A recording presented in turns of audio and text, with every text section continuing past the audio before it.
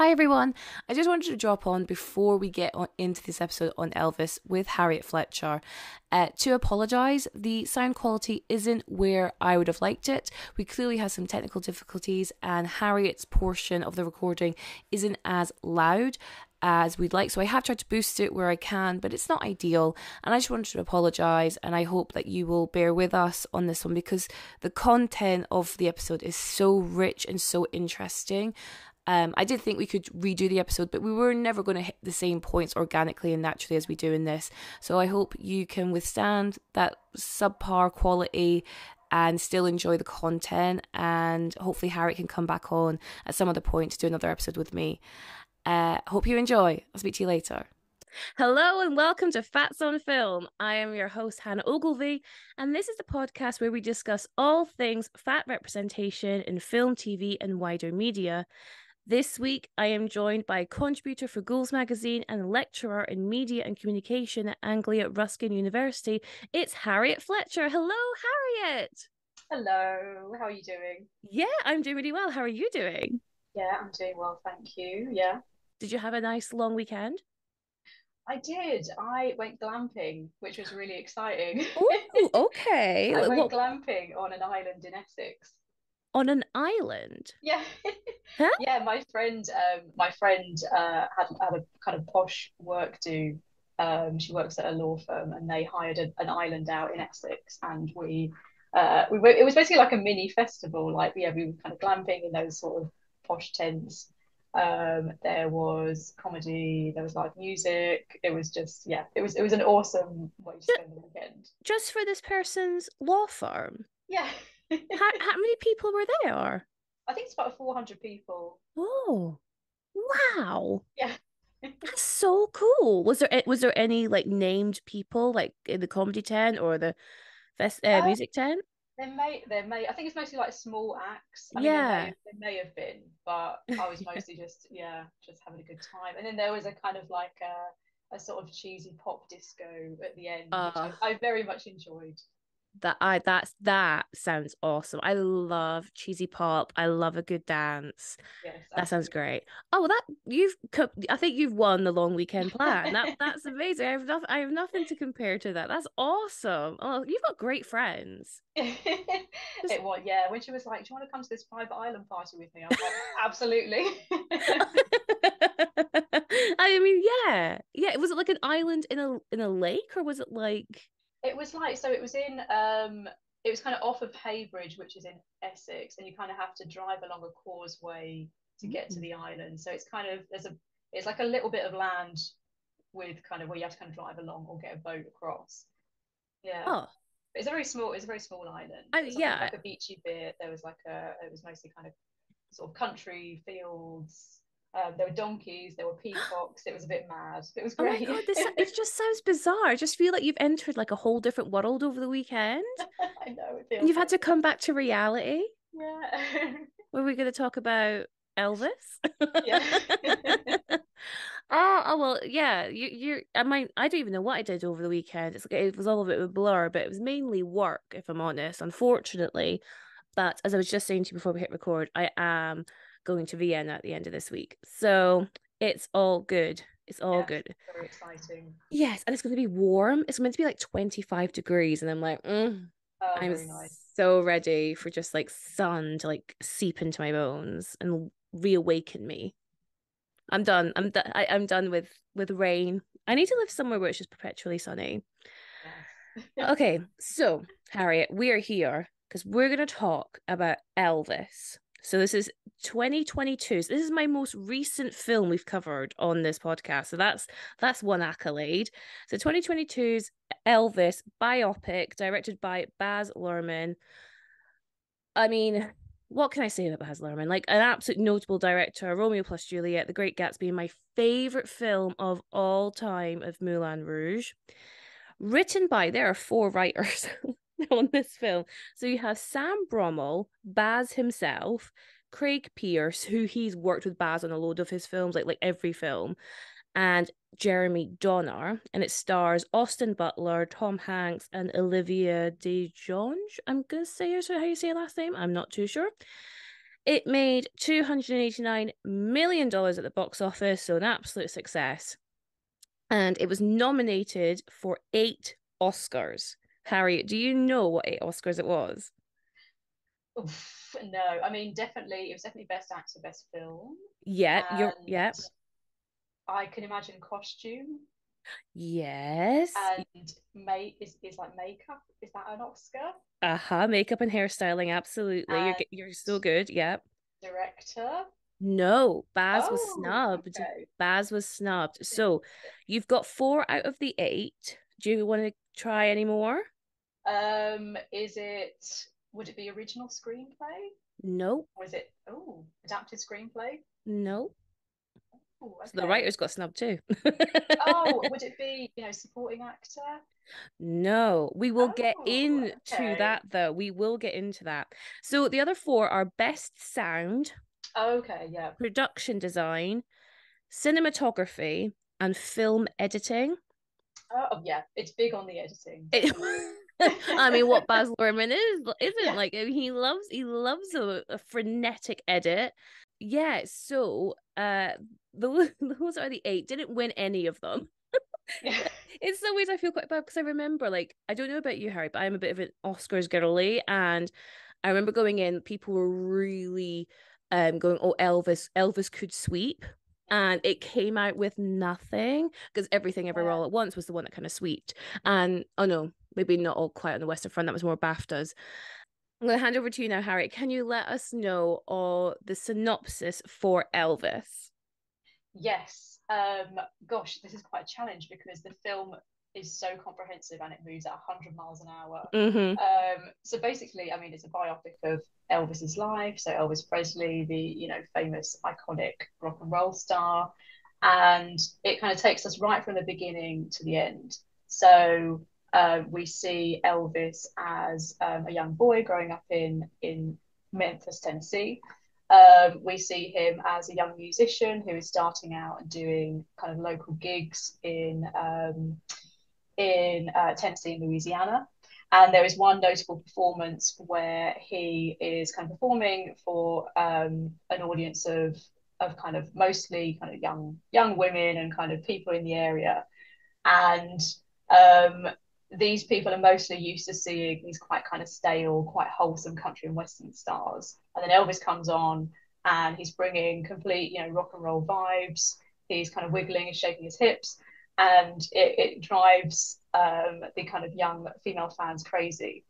Um, and this is something that they've kind of not seen before and they've not experienced before. It was a real um, phenomenon.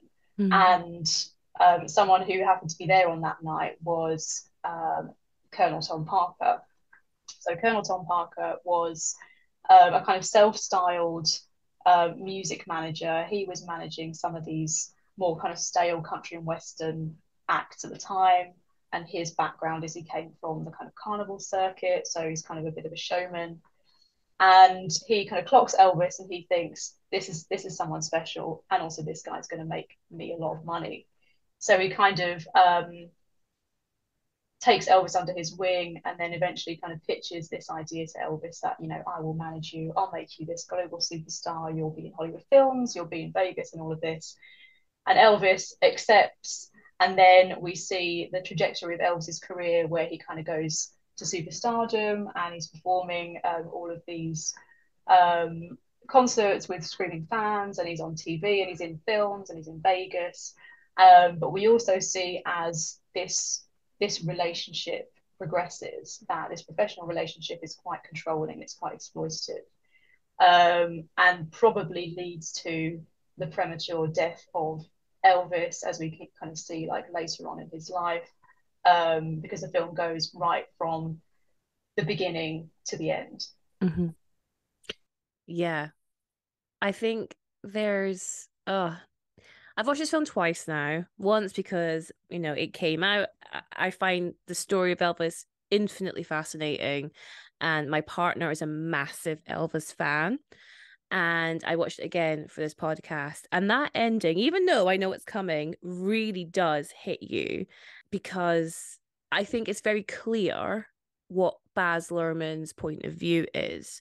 Yeah. And again, we're going to get, I want to get into that actually because Baz has really, I'm going to call him Baz as if I know him. I just Yeah. like, you know, our mate Baz. but, but Baz really positions Colonel Tom Parker as the villain of, of the piece. And there is a lot of conflicting real life testimony against that.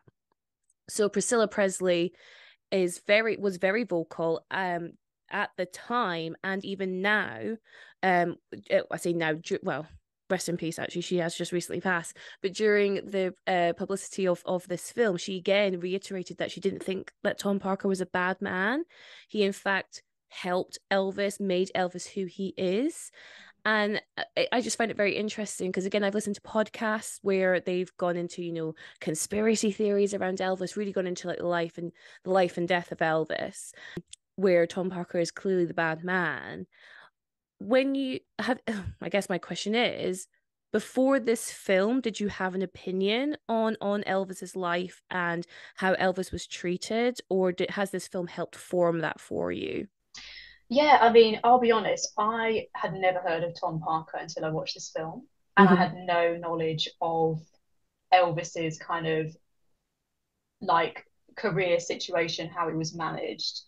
Um, so I, you know, I didn't grow up listening to a lot of Elvis's music. Um, you know, he wasn't kind of played very much. My parents didn't, you know, weren't kind Mm. of fans of him, that kind of thing. sure So I think I didn't have that knowledge about him until this film.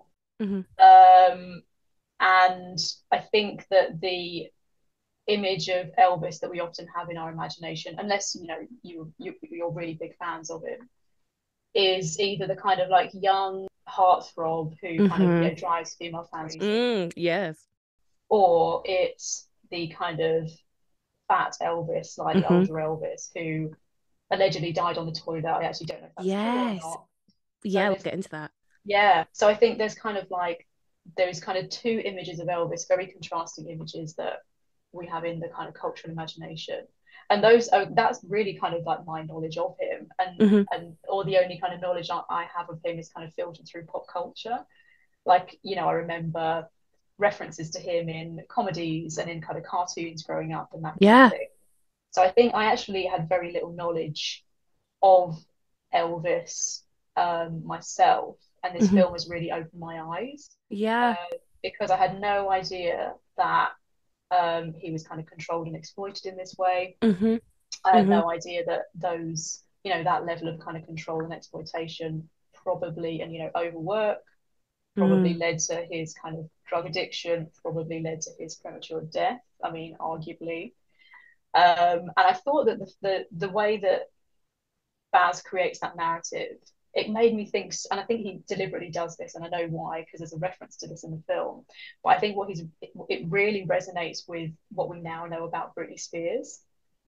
Oh, I'm so glad you made that connection because again, I, I I'm a massive Britney fan. Massive, massive, massive. I absolutely adore her. What are your feelings on Britney? Yeah, love her. Okay. Icon completely. Absolutely. And I I- and when I first watched this, um, which would have been oh, I guess last year sometime, um, I was really struck with how this story is told from the point of view of Colonel Tom Parker. So the film starts, uh, we're in 1997, we're in Vegas, and the aged uh, Colonel Tom Parker, played by Tom Hanks, has collapsed, and it's almost like he's on his deathbed and he's reflecting on his life and his legacy, and that's how we how we're told the story of Elvis, and we are meant to take Tom Parker as an unreliable nar- narrator because we hear him saying one thing and yet on screen's a very different story. However, I couldn't help but think this is like telling a Britney Spears biopic from the point of view of her father, Jamie Spears. Mm, yes. And that doesn't sit right with me.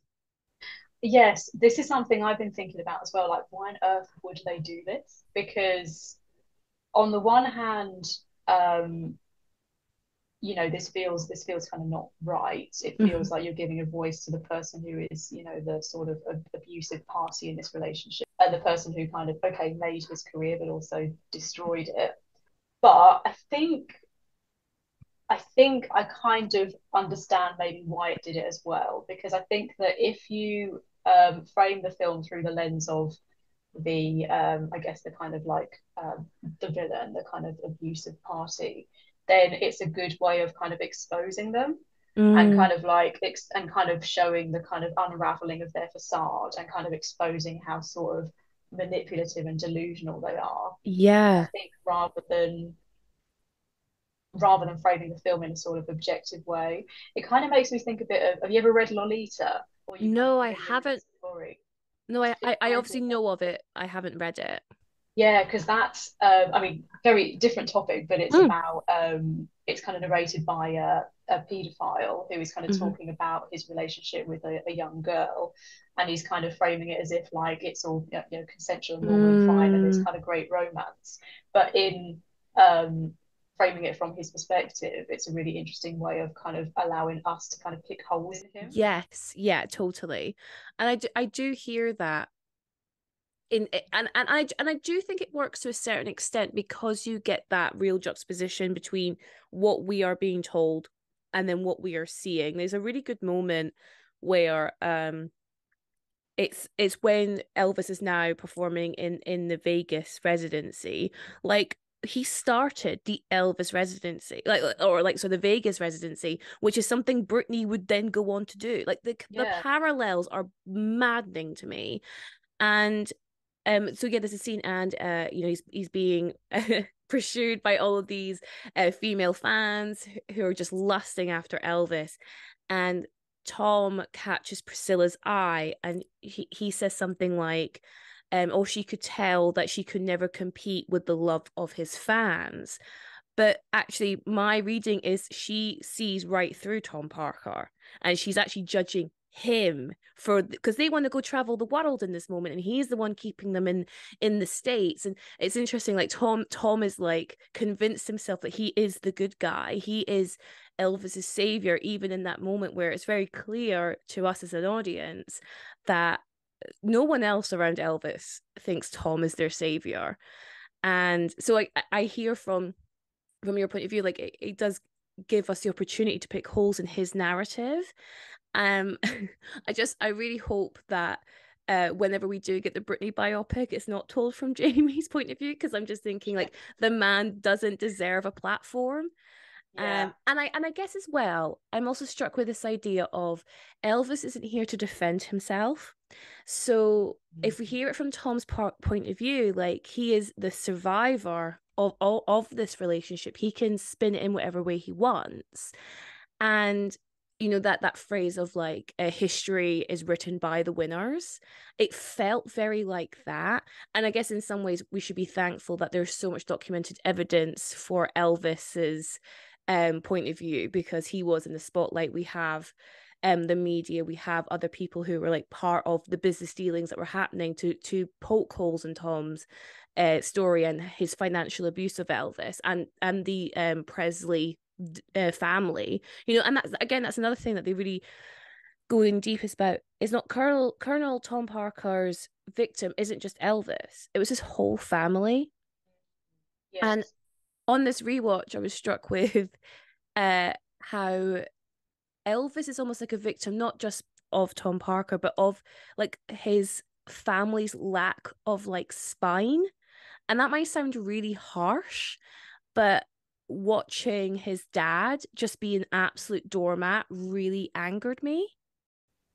Yeah, yes, definitely. And I think in a way, this might be because potentially because they're kind of you know they're not particularly like well off family they're yeah kind of, you know, humble working class people and I think maybe they're people who are kind of vulnerable to being exploited especially yes. if they're getting financial gain from it and that's something yeah. that Elvis um, kind of says very early on when when um, the colonel says he wants to manage him and he wants to give him this fantastic career Elvis just says you know I just want to make sure my family um, are kind of looked after.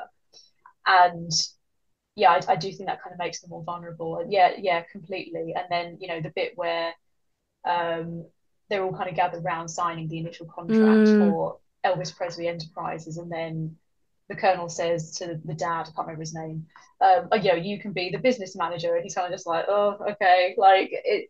They kind of he's kind of putting all of this pressure onto people who don't have the experience that mm-hmm. he has, or maybe you know he doesn't even really have a lot, a huge amount of experience, but he kind of pretends he does. Yes, he's, yeah, he's putting a lot of kind of pressure on these people, and I think it's also incredibly sad when um, kind of later on in the film, Elvis collapses from exhaustion. Mm. And then this, you know, people kind of gather around him, and there's a, a lady who says, you know, if he was my son, I'd be mm-hmm. taking him to hospital. Mm-hmm.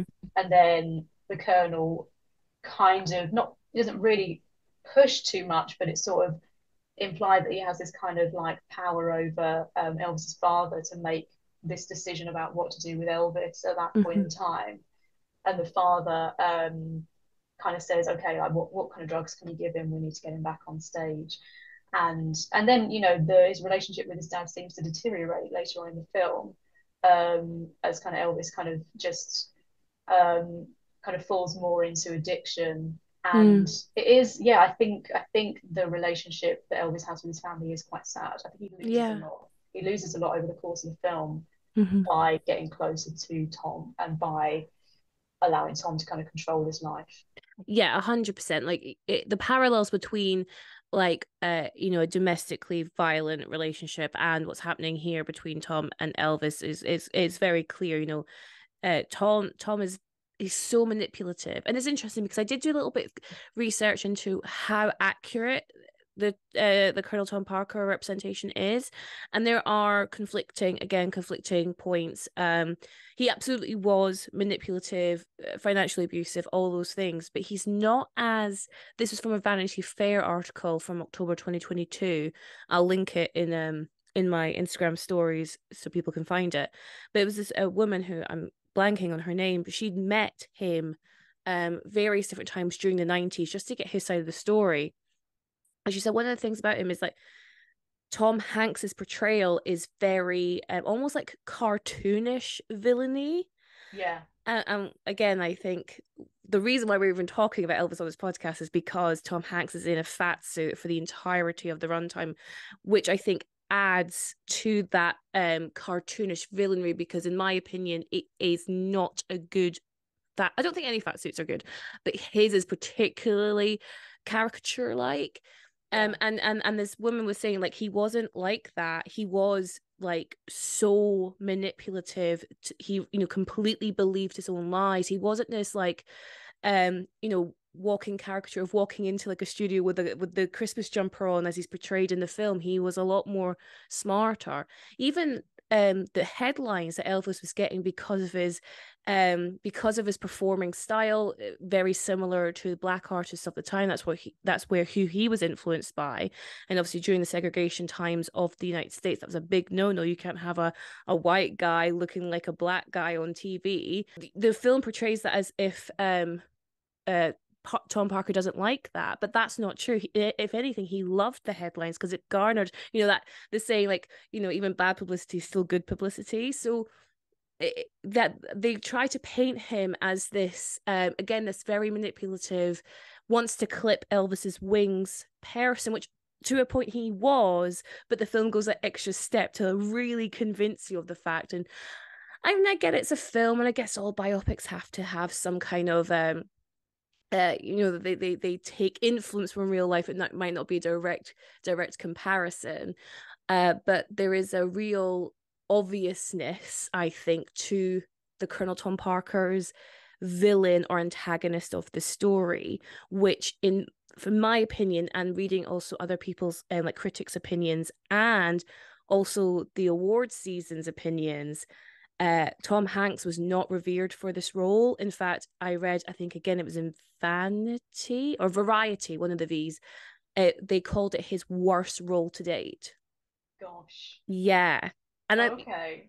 And people love Tom Hanks. Yeah, I actually saw a really funny Letterboxd review of this role of this film mm. where because because this this film was produced during the pandemic yes it was the beginning and tom hanks was one of the first i guess a-listers to uh, get coronavirus yeah he was and someone said um, the coronavirus must have got into his brain that's the only way of That's the only way of oh. explaining what he's doing here. It's, it's it's really odd. I mean, this is like this is a man who has been on our screens ever since we've been alive, Harriet, right? Yeah. And you know, and the thing is, I don't think he does much variety in his performances now as he did when he was younger. But you know, like he's older, he just gets he's getting comfortable. But for me, this de- this role is definitely outside of his comfort zone from what he's been doing the past. I don't know, maybe ten years, and it is bizarre. And I think he was trying to benefit from this idea that, like you know, um, your casual viewers like yourself, Harriet, who might not have known Elvis's story, who wouldn't know who Tom Parker was. But from my understanding of people who do know who Tom Parker was, it's he wasn't like this. So even his accent, so his accent's this odd um I saw I saw one person call it like a Nazi-esque accent. Oh no. Uh, and uh, and Colonel Tom Parker was originally from the Netherlands, but um, I have watched interviews with him. He spoke with a pretty American accent. The only differences he had where he would say um his his R's would sometimes come out as L's. So he used to say like Mr. Plesley instead of Mr. Presley. And he would also there was another one. Oh, uh, J's would come out as L's or something. So it would be like you you lust missed him instead of you just missed him. So it almost came across as like a speech impediment. And that's why no one really clocked the fact he wasn't an American citizen until much later in his life. The film makes out like this is a big twist for Elvis when he finds out, oh, the reason why he's not allowed to tour the world is because he doesn't have a valid American passport Elvis had no idea. He died never knowing that that's why he wasn't allowed to travel. And it wasn't until the 80s did they actually find out that he's he's Dutch. So and the reason because his voice he just sounded like he had a speech impediment. But the film is just like again, it comes back to this cartoon villainry thing where it's like uh, I mean, again, I'm I'm trying to thinking, is it Hollywood saying that like German accent accented bad guys, you know? like it's just our default, you know, they're either either British or they're German accented, and that's the only villains we can have in film.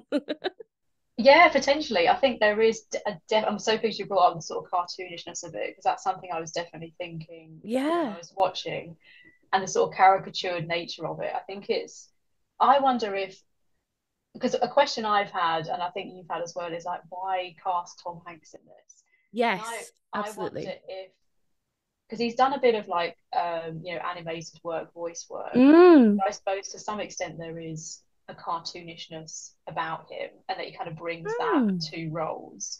And I wonder if the the film wanted to bring that out in the character and wanted kind of Tom Hanks to kind of to to, to kind of for that. Um, but also, yeah, I mean, why? Because um, you know, he is he is the villain. He's a bad character. He's very exploitative. He's you know very controlling. But when we portray that kind of person in quite a caricatured, cartoonish way, it does it does it kind of um, mean that we don't take that character as seriously as we should. Mm. Um, and I think as well, there's a lot of, I mean, there's a lot going on with caricaturing of this character. I mean, beyond the accent, I mean, the fat suit is the obvious thing. Yeah. And um, I think I wonder if it's kind of playing into the sort of Hollywood shorthand of um, the, you know, kind of this this feature equals villain. So like, yeah, this accent equals villain, or you know, um, fat equals villain, or you know, the kind of the Bond films do this all the time. Like, yes, facial, facial disfigurement equals villain. Yes, it's like the audience need to know that there's this person is kind of other in some way, and uh-huh they are a villain and we we're not meant to like them. So I wonder if like that that Tom Parker is this kind of like caricatured other character mm-hmm. in the way that he's kind of being portrayed as a villain. Mm-hmm. Yeah, I, I think when I Google pictures of him, there's not many pictures of Tom Parker, it has to be said. Uh, but I wanted to get like a comparison, and he absolutely was a bigger man, a hundred percent, no doubt about it. But the problem when we have fat suits is that there's something so uncanny valley about them. And with Tom Parker's fat suit and Elvis, so obviously he's got the body suit on, but the most jarring thing for me is his neck area and then the face and then this nose that they've given him. And it just looks like rubber like uh, there's some close-ups where you can just see like how badly like the foundation is laying on top of the prosthetics. It's it's it's it's it really takes you out of it. And it's almost like removes any humanity that this character has or or this real life person i guess that's the other thing i'm struck by this is a real person. I'm not in any way defending tom parker because by all accounts even if the presley family have come out in defense of him like there was enough lawsuits and enough evidence to show he was absolutely financially abusing the hell out of out of the presleys but like he's still a human and his actions alone should make him the villain. But they had they went to such extremes to make almost a mockery of of this character. Like say remove any of the humanity obviously they don't talk at all about his family life. And again i'm not saying that they should because it's like oh you know how much of a backstory do you need to know for your villains? But it's it's like they maybe there's a happy medium but they're so off the other end of it so when I was reading about this film, this film first started talk, being talked about in Hollywood at 2014, and it was in what they like to call development hell. So this is when they just cannot get the film, you know, can't get backers, can't get anyone to sign on to it. The script is going through rewrites and rewrites and rewrites until eventually Tom Hanks signed on in 2019, and that's what got it out of this development hell. That's when they started auditioning. Oh God. On that note, I actually really like Austin Butler in this. I think he's a I think he's very good. Um again I saw some criticisms of him where they don't think he's charismatic or doesn't have the same charisma that real life Elvis had. And I'm like, yeah, but like Elvis Presley was like once in a blue moon. I think Austin Butler does a really good job here. Uh I really liked I really like his performance. Um, so yeah, they started auditioning for Elvis at this point when Tom Hanks came on. Other notable aud- auditionees were Miles Teller, which I can totally see the resemblance of, and Harry fucking Styles. of course, yeah. I'm just no. He's gonna throw his hat in the ring for everything. I've just. I'm, I'm gonna lose my mind about the acting career of Harry Styles. I really am. I just I, I mean, in some ways, it feels so much like Elvis, where like they're just throwing him into films because they know it's going to bring money in. Like, I don't know that the parallels there are really funny, but I just I can't I can't stand it. I can't stand to see this man in more films. The man cannot act. Go to school. Stick to singing. That's that's that's plenty fruitful, you know. Um. So Austin Butler gets gets the role because he submits an audition tape, which uh, Baz Luhrmann says it almost was like a breakdown um, so I think Austin has said that he um did did his first audition, but it felt like almost like an Elvis impersonation, and he was a, a bit embarrassed by it. So then he then um came away, and recorded himself singing. I can't remember which Elvis song it, it was. It might have been "Love Me." Oh no, it was Unchained Melody. It was Unchained Melody, but he sang it from the perspective of a son singing it to his mother because Austin lost his mother when he was 23, the same age Elvis lost his mother. So he had this like kinship with Elvis. And I, am assuming he got very, very emotional. So that sounds like it's a very emotional pull point. And Baz is like, this man's having a breakdown. I need to meet him. And then that was it. That that was that was Elvis for them. So Tom Hanks signing on really causes all of this chain reaction for this film to eventually get made during the pandemic, as you said. but does that mean uh, like Tom Hanks was the right person to play the role of Colonel Tom Parker? Yeah, I mean, I'm pleased you explained that because something I wondered was like, is the only reason Tom Hanks is in this because they needed an A-lister to push it. Yeah, it seems like they did. No, they hundred percent did. They hundred percent because again, I didn't know Austin Butler before before this film. My understanding is he was in a relationship with Vanessa Hudgens for like ten years, and I know who she is. I didn't know who he was. Um, yeah, but yeah, yeah and and the rest of the cast are all like Australian actors, and um, you know tend to work with Baz Luhrmann quite a lot. So you've got Richard Roxburgh from Moulin Rouge, is what I know him from. You've got David Wenham, who's been in, again a very notable Australian actor, but they're not. You got Kodi Smith Smith McPhee, which again, isn't going to be pulling in major people just yet. Maybe one day, but he's still quite young. So yeah, I think that's the, that was one of the problems. Like, who's going to go see this Elvis film because no one knows who anyone is. Ah, Tom Tom Hanks is top billed, which makes sense. Yeah. But it's called Elvis. It should be Austin Butler. Yeah, yeah. It's a bit of a mix. It's a bit of a mix up in terms of like you know who's the main character, who are we meant to be kind of backing, like who's who should be telling this story. Um, yeah, I did think that the only reason Tom Hanks is in it is surely because they needed an A-lister. Mm-hmm. I'd be interested to know like who else auditioned for it, and you know I was thinking as well like because I'm a Baz Luhrmann fan as well, and I would have I would have watched this film if there was like a lesser known actor in that role. Yes, I would have. T- I I totally would have done too because of Baz Luhrmann. Yeah, like he's got such an interesting style of filmmaking, and we actually haven't talked about that. But the way this film this film is filmed or or how it's at least portrayed on screen is so interesting because it's so and I say this with respect but wacky mm. you know you mm. have the iconography every time we go into a new place um we've you know it'll say something like you know Beale Street when we when we first get to Beale Street the production design is awesome it really feels incredibly bright and interesting and especially especially when you get to uh Beale Street and like Club Handy, like I can totally understand why Elvis would be pulled there because it looks like that's just where people are living. And then and then you got all these edits, you have these weird CGI transitions when we go from like a roulette table to something else. And it's just it's just a bit mad, but I wouldn't expect anything less from Baz because that's his style. And like you say, that's enough of a pull for me. Mm. And, and I think as well the subject matter. I think the subject matter is interesting. Elvis has got a very interesting story which has strong parallels to a very similar icon is going through something very similar to today's world, which is Britney Spears. I think it's a story that needs to be told, but I don't know why Tom Hanks had to be part of it. Yeah. Um yeah, I mean, yeah, totally. Like I, I I've sort of been thinking like if they'd cast um a lesser known actor in that role, how different the film would be, and you know, would that would it mean that that character was sort of taken more seriously? Would it mean that they were like less caricatured?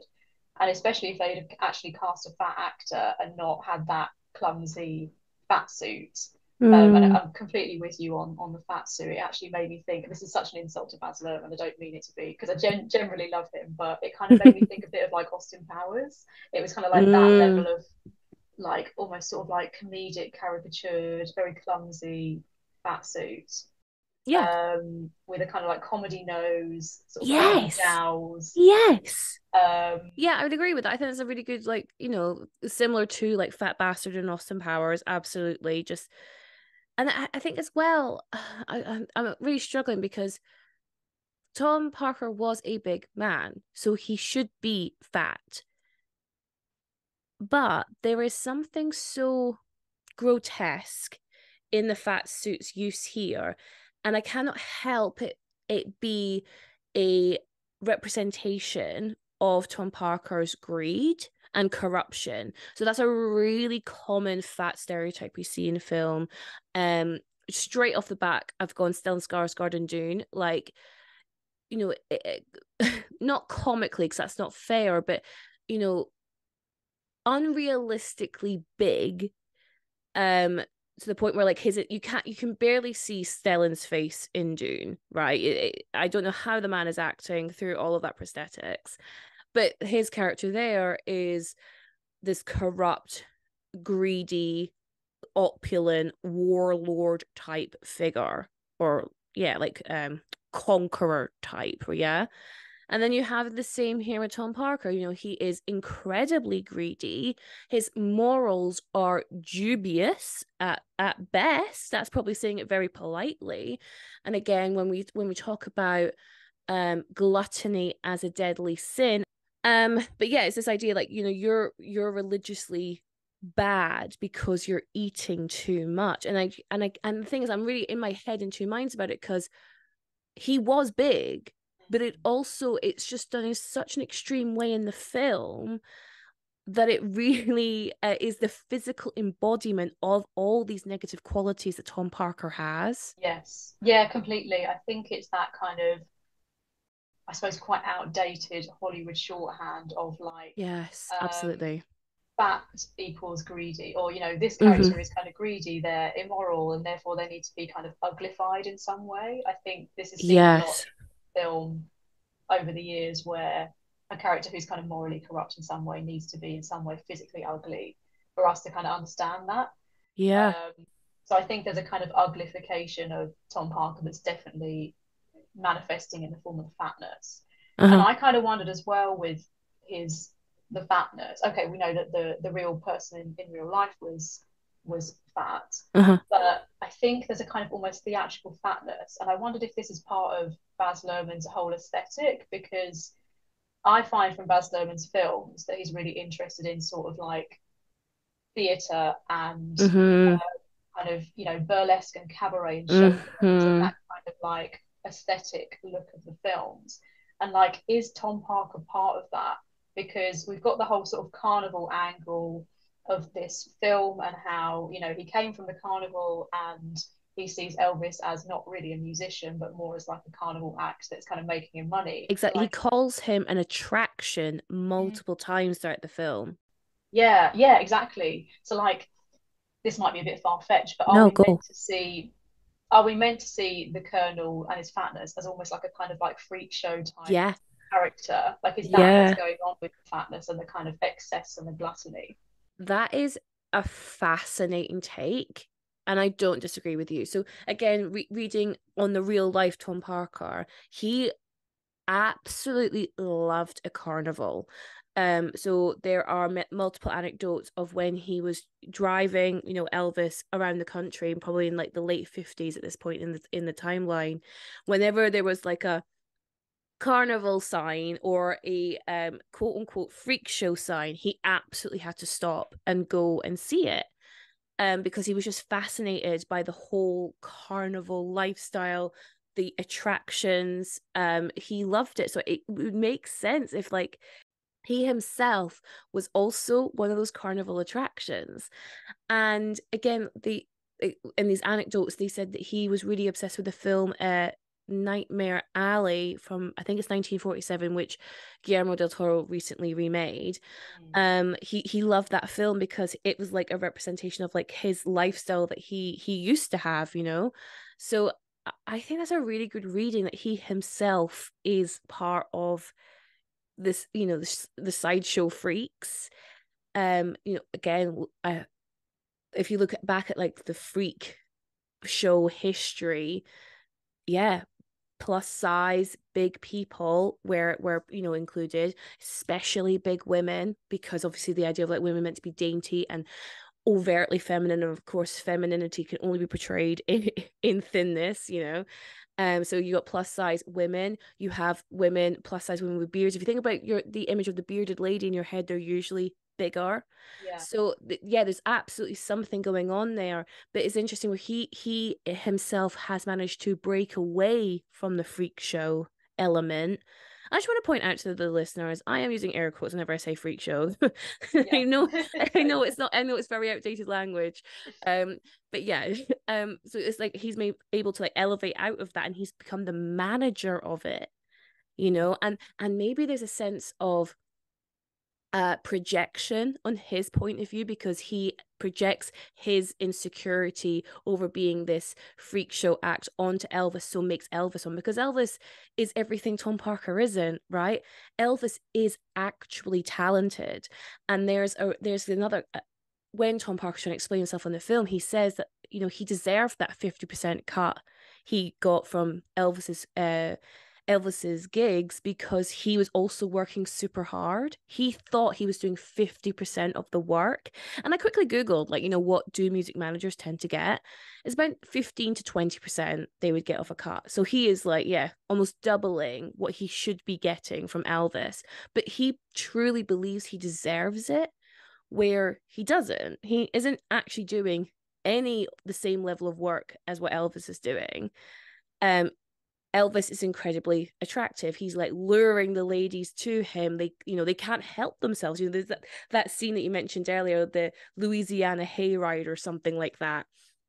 and the women are cannot control themselves at the sight of this man who's wiggling his pelvis at them and uh, you know you know those women aren't aren't screaming like that for tom parker yeah.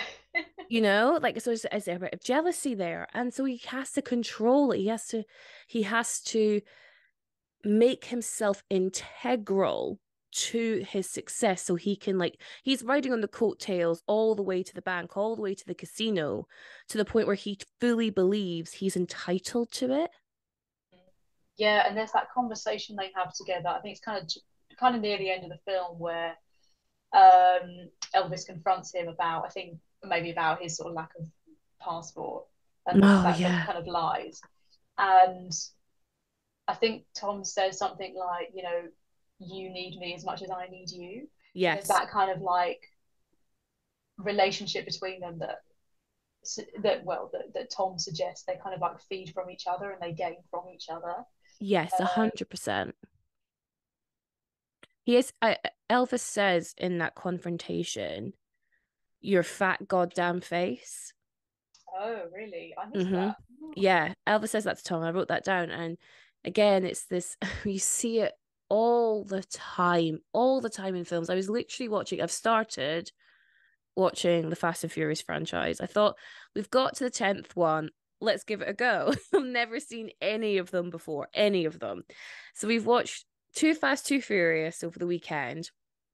And there is a scene where um, Mark Boone Jr. is playing like this corrupt Miami cop.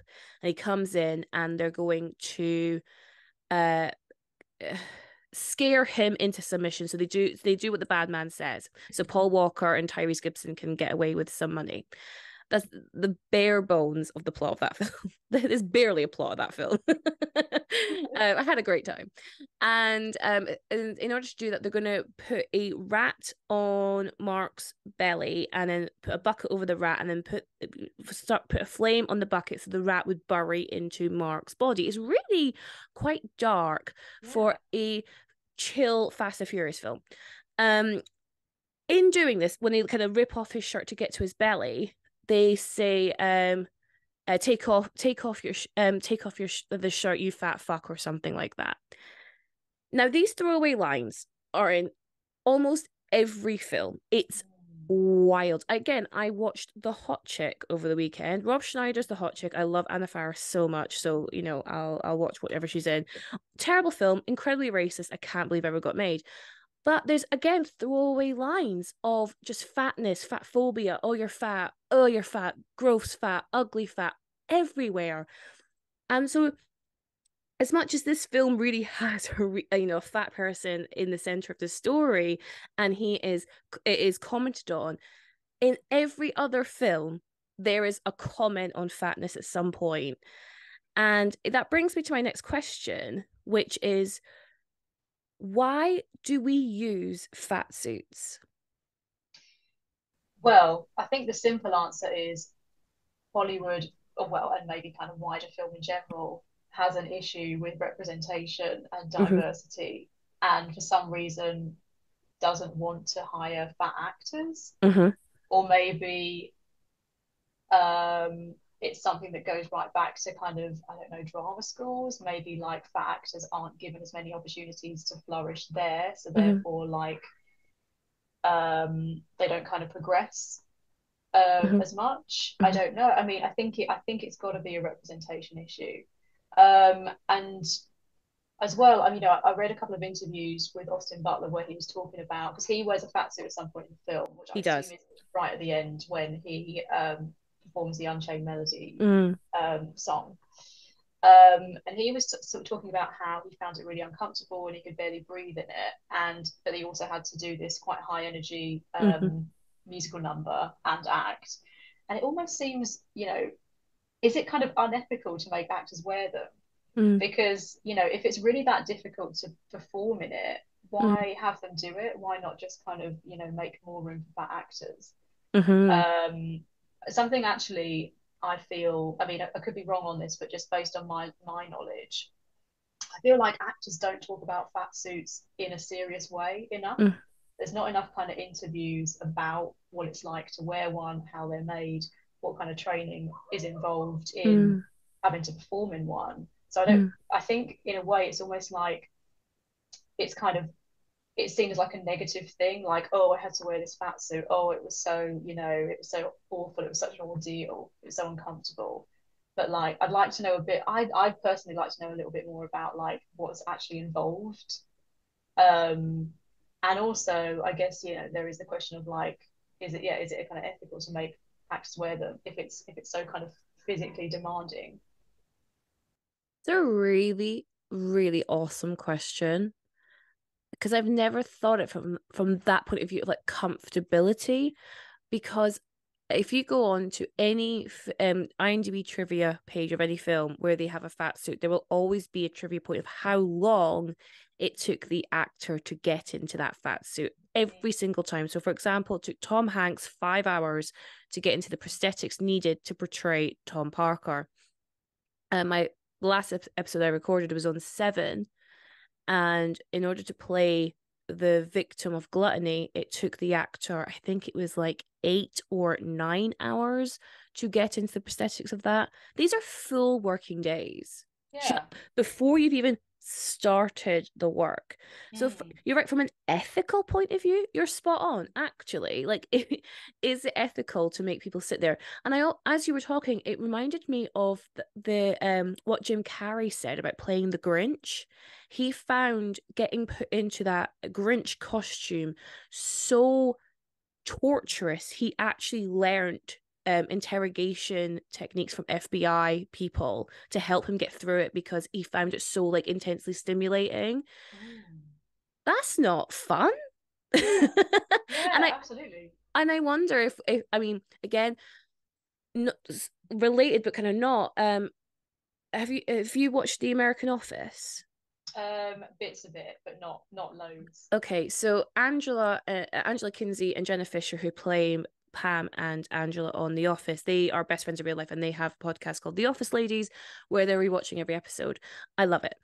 Um, but they have both spoken how each of their characters in the show have ha- have been pregnant, and so they've had to wear the fake bellies, and they have spoken at length of how uncomfortable these fake pregnant bellies are to wear, and how difficult it is to go to the bathroom with them. So as you were talking, I'm like, hold on, how do you even go to the bathroom in these fat suits? Yeah. You know, like um, you know, with with with, with those actresses, you know, that's a that's a belly. Um, so if you've got a full on, you know, prosthetic fat suit on with with with um, you know, the makeup. The, the jowls in, in in Tom Hanks's case, you know, how are you drinking? How are you eating? Like, what is the actual effect of being in a fat suit every day? So your first point is it ethical? I'd love to know. It's like is ethical. It's clearly not comfortable because people are at least speaking out to that point. Um, Brendan Fraser has spoken out at length about his fat suit for the whale, a film we will talk about on this podcast, but I'm emotionally not ready to do that yet. Um, he but he has spoken about how going into the fat suit for playing Charlie, who is a 600 pound man, like it helped him get into the character because of the, the actual weight of the suit. Mm. So I think some actors view it as almost like a portal into the character they're playing, which I'm I'm not going to disagree with. I understand the logic behind that. But again, it must be fucking heavy, you know? Like how how how confining is that? I can imagine being quite claustrophobic to a point as well. And then ultimately to the the last bit you well, not last bit, but the big point that you mentioned representation. So I think we have two issues which you've already identified, which is the pipeline into it. So do we have um, actors who are in larger bodies actually coming through the pipeline of drama school into auditions, into films, into TV? And if they are coming, are they being cast or not? And it, it, we have the same issue with um they talk about this with female directors that there's not many female directors going into film school to begin with because it's seen as such a boys club. It's not seen as accessible to them. It's not seen as uh, um, something they're allowed to do because the lack of representation already in it. So you have this like chicken and egg situation where well someone has to be the first but being the first I, I spoke about this um recently with representation to represent something which is a very uh, which is an area which has got very little representation that looks similar to you. So you, maybe you're the first or maybe you're one of very few people means you have to be incredibly vulnerable. You're putting yourself into a space that currently does not welcome you. And that requires a lot of strength a lot of self-confidence patience determination and I'm sure a lot of people go into those spaces being like, yeah, no, I'll do it, I'll do it. And then they get kicked out again because they can't keep up with it. They're going to, you know, um, I'm going to say bullied, bullied out of it, which in no way makes it right. I'm just hypothesizing this issue. I'm only saying that because um, one of my things I do, again, I have like two audiences where I have my like film audience and I also have my fashion audience. And on TikTok, I do plus size fashion and it's going really, really well. But I get shit on by trolls. Luckily, I'm in a space in my life where I can go, it's all good. I, you know, I, I, I know what I'm doing. You're sadly projecting. That's not, that's not my problem. But if I didn't have this self confidence, and I didn't have this determination, those comments would get to me because they're hella nasty. So if you're a fat person going to drama school somewhere that maybe you're not accepted or you're not welcomed or you're not being represented and you get bullied or you don't get the parts you want or you're um unfairly oppressed you know? Again you always hear those ideas of like never getting picked for the lead because your your face or your body didn't fit the lead role. You might give up and i wouldn't blame you for that. But it means at the end of the pipeline there's fewer fat actors to choose from from a casting director point of view so we'll just get Tom Hanks, we'll just get Colin Farrell, we'll just get Brendan Fraser and put them in a fat suit. Yeah, yeah, completely. I think, you know, um, as you say, you have to kind of make yourself vulnerable in order to kind of potentially like um, make any kind of changes and kind of units that you want and deserve. And there must be a lot of actors who have to be incredibly resilient, perhaps more yes. than the average person. Definitely. Have to, certainly have to work harder than mm-hmm. the average kind of straight sized actor.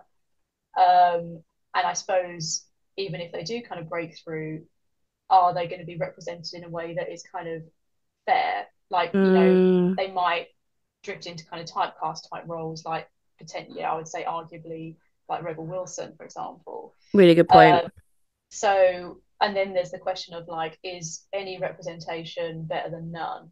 Mm. like should you should you kind of do those roles to make a name for yourself and then try and kind of change roles for yourself in like a producer role um you know kind of make the films that you and make the, the kind of representations that you want to see? Um it's a tough one. It's a very tough one. Mm yeah, I think that's a good point. Is like, you know, should we be thankful for any representation? But there is positive and then there is negative representation. So if you look at like fat representation from I'm gonna say the noughties more specifically, just because it's it's more in my head. But there is always a teen a teen comedy in the early noughties. The fat character is the laughing stock.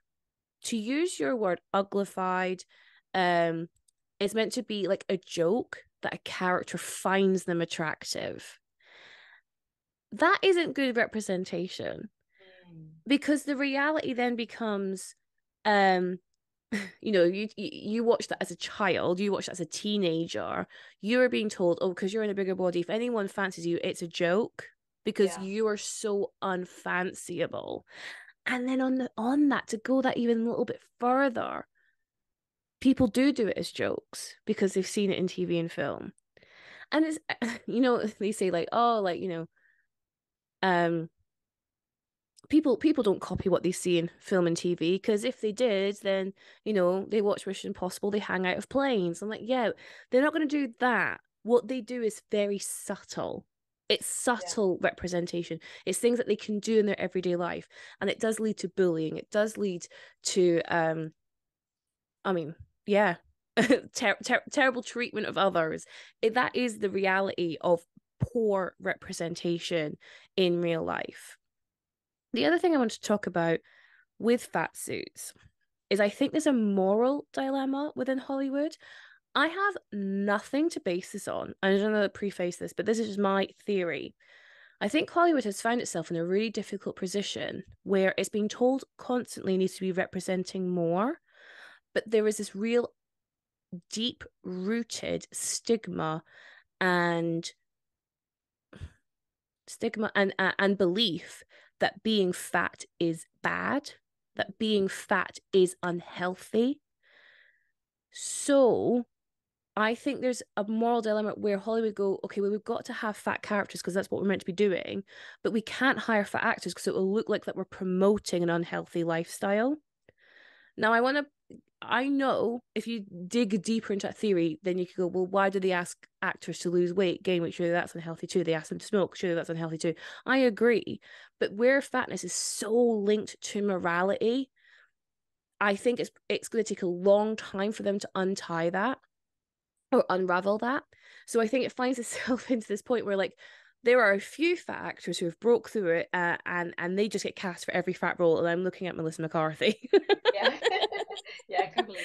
Yeah i mean I, I really really like her and i'm so glad she's success, as as successful as she should be but there are i know there are more fat actresses that are desperate for their for their voice you know for their for their time in the spotlight um but they i think again they pat themselves on the back going oh we let one through but then for every other fat role they just oh just throw a fat suit in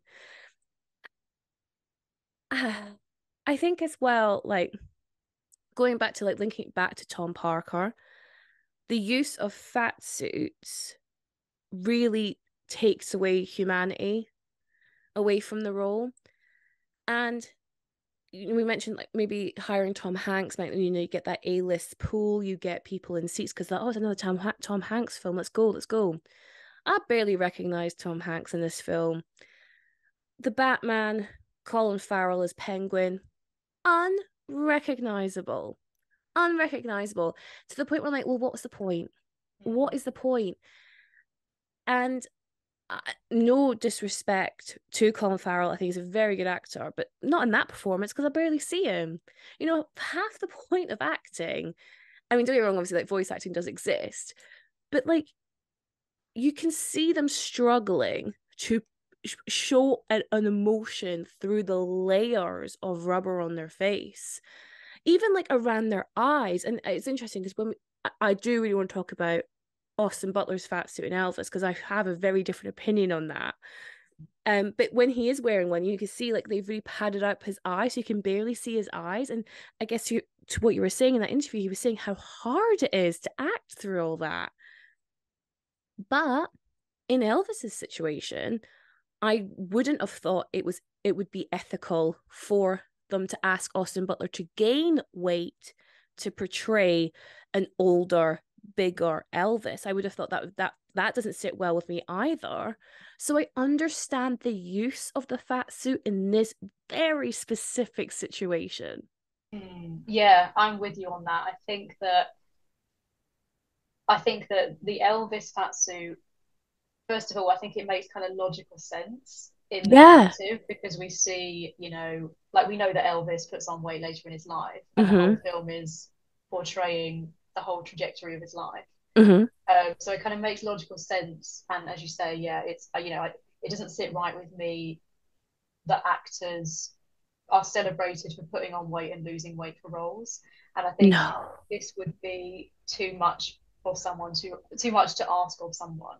Mm. Um, so I think that fat suit makes sense. Yeah, I do too it and I do think that that Unchained Melody scene, uh, after what you've watched in the entire film, it is quite an emotional scene. Oh, oh no, I love the final scene, Harriet. Like I really, really do. I that's what I said at the very beginning. Where like that is a real gut punch for me because first of all, they're very clever where they start off with Austin Butler portraying Elvis and it just um again from the 1968 special onwards they they blend austin and elvis's real vocals to kind of combine the two and i think it really works because again you know i think austin was like 32 when this came out and he's not going to sound like an older I say this with love Elvis, raggedy Elvis, who is, you know, God bless him, highly, highly in that pit of um pill addiction.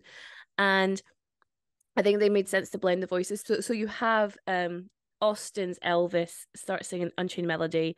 It's this powerhouse of a performance. And if anything, you, you I mean, I didn't actually watch the Oscars in its entirety this year, so I don't know what they used as their, you know, their little um postcards where they go and the nominations are they go through and Austin Butler for the Elvis. Um, I hope they use that though because that is the moment where you're like, this is this is good. Yeah. Um, it's really heartbreaking, and then it cuts to the real life footage of that performance with Elvis, and it's his last his last performance, I think, and he died a few weeks later in Memphis, um, or Graceland, I guess and it's really sad you see that like even after everything he's gone through after the the emotional manipulation he's lost his wife at this point he's um he's on his way out uh, there's a really horrible line where there's like a newsreel talking in the background as they're kind of preparing you for his final moments. And the the person over the newscast says he um oh torment so he, he spends weeks in his room tormented by his growing waistline. Yes i clocked that as well. I was like oh, oh okay. and i and i actually um want to go into like how the media treats fat elvis to use like the colloquial term is how he's referenced but yeah so you see he's obviously gained a lot of weight he actually i googled it um I hope I really hope I don't trigger anyone by saying this, uh, but he gained so when when Elvis died, he was 158 kilos, um, and he gained around 80 kilos in that 10 years of between the comeback special and him dying, and uh, after the whole Vegas res- residency. So, and it mainly being because he was just like in a binge eat cycle, you know, and it's interesting. So I wonder if if this was to happen now you know what, I'm going to say this, and I'm instantly going to like say, oh no, we know exactly what would happen now because we're arseholes. But I was like, oh, if it happened now, like, you know, we'd be a lot more kinder to Elvis because he's clearly got an eating disorder. He's clearly got like an addiction problem. But then we are so horrible to any star who has any kind of weight issue yeah. be it be it they're too thin or they're too fat like they'll just get ridiculed so actually I'm going to eat my own words say no we're because we're arseholes because we feel so entitled to comment on people's weight mm. and I think as well when it comes to male male weight male body image there's not as much of an open dialogue about it and men, Agreed. men feel a lot of shame i mean i'm not a man so i can't say but I, mm. I imagine men feel a lot of shame about having an eating disorder definitely weight and about you know the you know anxiety about being too skinny and not kind of fitting into like what they what the image of masculinity that they feel they should be mm. and that is magnified when they're a big star and especially a big star who started off as being a heartthrob and is is meant to you know whose image is kind of meant to appeal to um, young women and is kind of meant to be desirable. And we kind of see that deteriorate in the film as kind of mm. as he kind of gains weight as he um, um, as his kind of health suffers.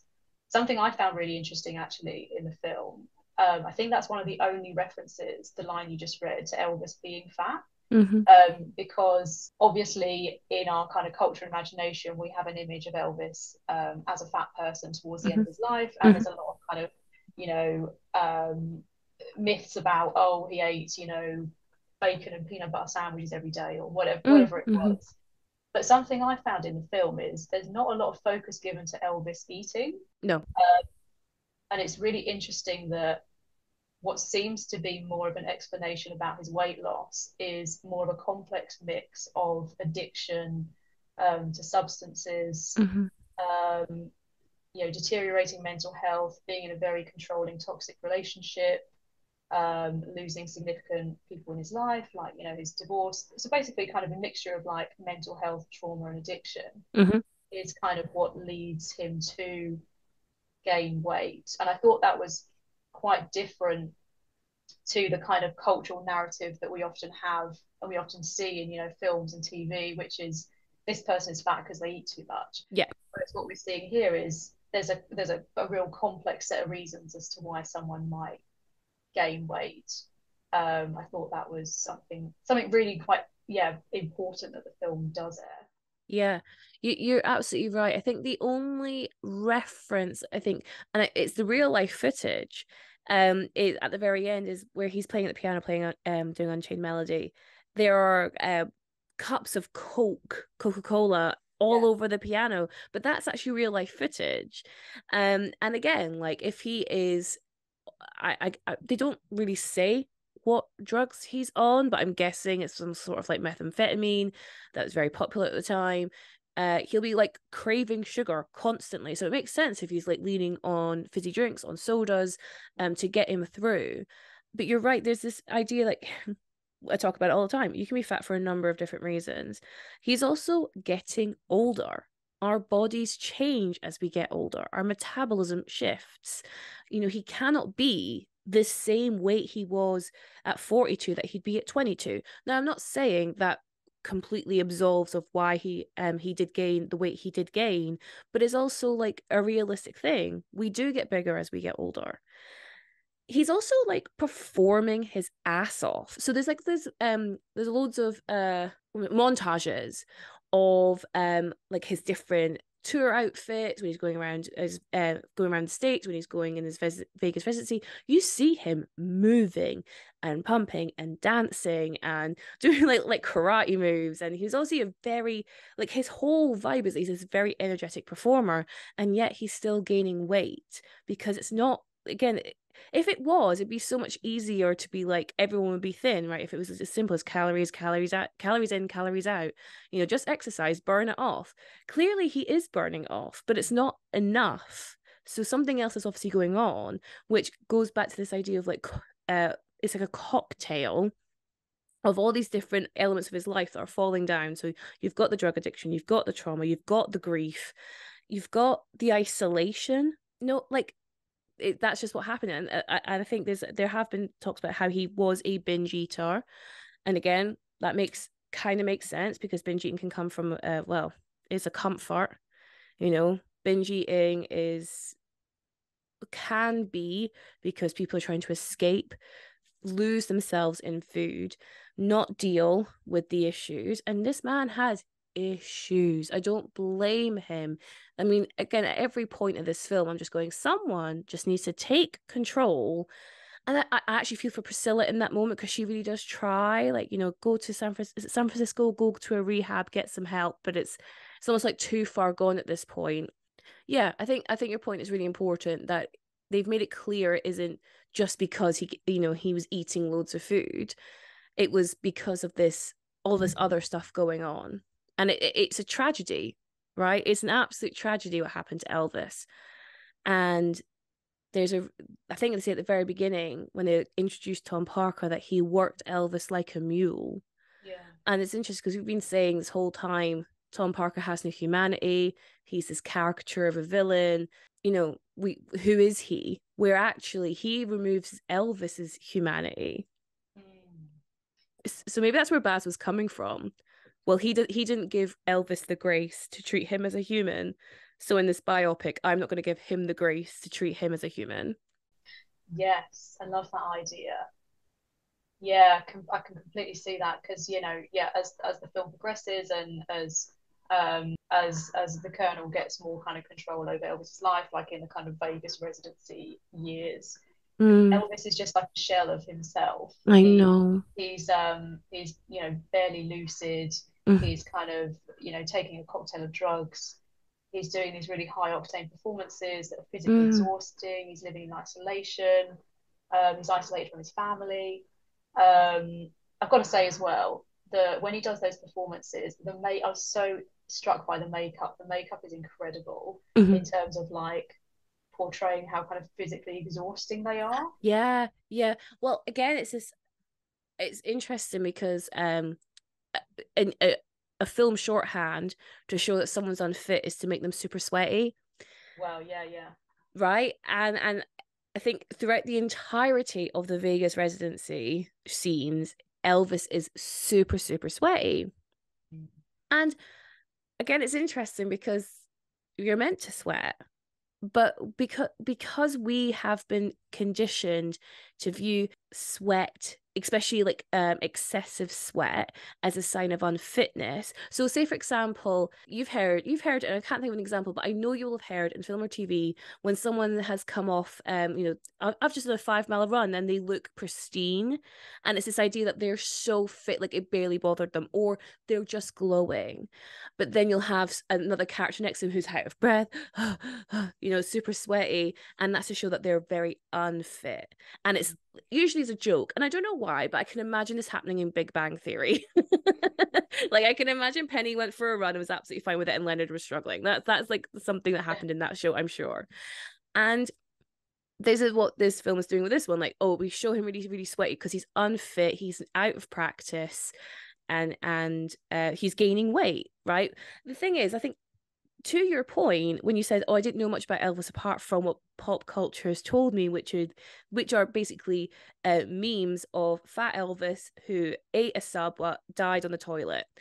Um there's again there's a rumor that he died from um in, uh, constipation. That's it. That he died from constipation. That is the rumor which is not true. He died from a heart attack. Um so all these things are happening to feed into this uh, into your idea of who Elvis was, which is this unfit, washed up man. And I do think the film does a really good job of showing you it's so much more nuanced and complex with that. They don't even allude to the rumors around his death, which I really appreciate. And I actually really appreciate how they end it because it kind of ends on a high in terms of like he gave the performance of his life in that final one we see, and we get to see Austin and real life Elvis do it. What's interesting is a few years before Elvis died, Cass Elliot, who was uh, Mama Cass from the Mamas and Papas, mm. she um, died and the rumors around her because she was a bigger woman uh, yeah, she hated she hated the nickname Mama Cass, which I just find really sad now because that's how everyone refers to her even now. Um, but she when she died, uh, the rumor was she died with a ham sandwich in her mouth because, of course. Yes, I've heard that as well. Yeah. Yes, and it's this idea that even in death, these fat people are completely stripped of their humanity of their dignity like almost like well what do you expect? Because you've it's almost like you've eaten yourself into an early grave. Now as a fat person i have been told that many times. It's nasty. It's it's so cruel. And i think going back to this idea that elvis can't defend himself Cass Elliot can't defend themselves because they've passed and all these rumors get brought up about them. Just sent uh, it centers their fatness and it centers their morality. Yeah, yeah, certainly. I think when someone dies young, like Elvis or Mother Cass, um, and they die as a fat person, I yeah. think that creates this quite negative myth around them and also potentially I think the case with Elvis maybe affects the way that their music is received. Definitely. I wonder if I mean if there's I mean there's loads there's kind of numerous um, male musicians who died young and are seen as yeah. icons. So yeah. like you know Kurt Cobain, John Lennon, Jimi Hendrix, um, Jim Morrison, etc. And Elvis died young as well. You know he was only 42. Okay, mm. he was a little bit older than those guys, mm-hmm. but they all they're all kind of musical icons, legends, and they all died young. But the difference between those four that I just mentioned yeah. is that they died, you know, young and thin and beautiful. I was going to say, yeah. They didn't die fat and they didn't die on the toilet, which is, or, you know, allegedly on the toilet, which is mm-hmm. considered to be sort of, you know, embarrassing or linked to kind of something yes. grotesque. Yes. so I think, you know, those icons are, you know, they're remembered as being kind of you know, we kind of see young pictures of them circulating in pop culture, whereas with Elvis, we often see the kind of fat version of him. And then, you know, it's it's it seemed to be kind of cool to listen to um, Kurt Cobain or to listen to like the Doors or whoever. Hmm. But it's not. Is it cool to listen to Elvis? I think you know. I think Elvis is. I mean, my my perception, you know, kind of growing up was that Elvis was seen as a bit kind of cheesy mm. to listen mm. to, or that kind of he was more associated with kind of I guess an older audience who might like country and western. Like I don't think that he's has the same kind of reception as like being this kind of cool artist that those guys are seen as being. And I wonder if that's linked to the manner of his death. Oh, I think you're so spot on here. There's a phrase or there's a quote. I'm I'm I'm referencing The Office again, but one of the characters, Stanley, says, "Live fast, die young, leave a sexy corpse." Yes, that's it, isn't it? It's that that's 100% it. And you know, Elvis doesn't fit into that narrative of having like the sexy corpse. Exactly. It's kind of affected the way that we see him in our imagination, but he, also the way that he's is maybe the way that his music's received as well. Yeah, he he his our lasting memory is of this larger um cheesy costumed and i say that with absolute love because the costumes are amazing. The costume design of this film is absolutely brilliant. I the I, I read that they i think they made like something like 900 costumes wow. for for for elvis i think. Have i made that up? I, I might have to do like a little edit where i like correct myself. Um but yeah like they are awesome but i guess they have never been um Uh, coolified. They've never been brought back in a cool way apart from you know if if someone was to dress up as elvis for say halloween they're going to wear the white jumpsuit with the cape aren't they? But then what i really liked about how we see elvis from the very beginning he has like he's always had style um, it's just it was you know very rockabilly in the fifties, going in into the sixties. He has that comeback special. He has that like black leather jumpsuit on. That's so that's so sexy. That's so cool. And yet that isn't the lasting memory. The lasting memory of is of Fat Elvis. And if he, I, I, I hate to like you know uh, will to cut his life short but say if he died in the 60s maybe if he died just after that that really popular tv special would we be having a very different conversation right now? Would we be would he be revered? And i think that with um michael jackson i can't help but like comp- compare the two because what michael jackson was 50 when he died? He died in a very opposite circumstance in terms of like body size where he was incredibly frail but addiction uh, he was on prescription drugs. He had a doctor who was um giving him like things he absolutely shouldn't be giving him very similar to elvis's dr nick who uh, he did get struck off the medical board yeah. i think in the 90s in the end. He was absolved of wrongdoing but he did get his license removed. Um but still it's the same idea like you know they keep they keep these artists um drug induced so they can make them more malleable make them easier to control. And you know if you if you've watched um Michael Jackson's This Is It, where he's preparing for his um, O2 residency, another residency. Oh my God, the parallels. Um, uh, you can see he is in a hundred percent. He is in incredibly frail condition. Um, there's obviously like Michael Jackson's image has been commented on uh for forever and a day. But if he and again I don't mean to cut Michael Jackson's life short, but say if he died before the plastic surgery, before obviously the allegations that were made about him, um, would we look back on Michael Jackson differently? I don't. I mean, we'll never know, but I would think absolutely yes, because I think even now people are a bit cautious to say that they're a Michael Jackson fan. And that leads to this idea because you always hear and you hear this about Elvis. Oh, they were so good looking when they were younger. Yeah. But then when you look back at like like you mentioned, uh Kurt Cobain, I'm I'm thinking of um what was the guy from T Rex called? Mark, Mark, Marc Bolan. Marc Bolan, yeah. Like they always go, oh my god, so hot, so hot. I'm like, yeah, they died young. If you saw them now, you probably would think they were hot because they're older, and we're so we were so ageist. Hmm. Yeah, completely. I think when it comes to icons, we sort of don't want them to age and we don't want them to die. And we don't want them to get fat. We don't want them to change shape. And yeah. when they do, it's kind of difficult for us to process. And then that's where the kind of shaming comes in and then mm. where the kind of mm. narratives of like um and the kind of myths that kind of taint our sort of memory of them. But yeah, you know, all of these, you know, all of these musicians that died that died young, um, they died young and sexy, and that and that's that's the only image we have of them.